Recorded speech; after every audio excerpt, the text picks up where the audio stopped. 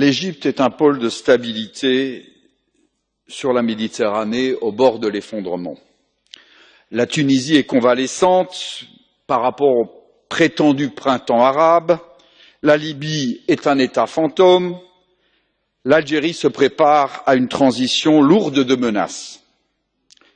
monsieur le commissaire vous parlez de sécurité et de développement et vous rajoutez les droits de l'homme méfiez vous des droits de l'homme qui vont contre la sécurité et le développement parce qu'à la fin vous n'aurez ni la sécurité ni le développement ni les droits de l'homme.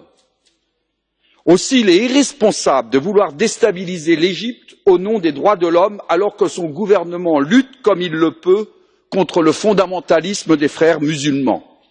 nous sommes comme beaucoup de pays musulmans dans une guerre contre le totalitarisme islamiste cela doit être clair pour nous. dans cette guerre des hommes comme le maréchal al sissi le général haftar ou bachar el assad sont des remparts pour les pays européens et ceux qui voudront les déstabiliser sont les complices du terrorisme et les ennemis de l'europe.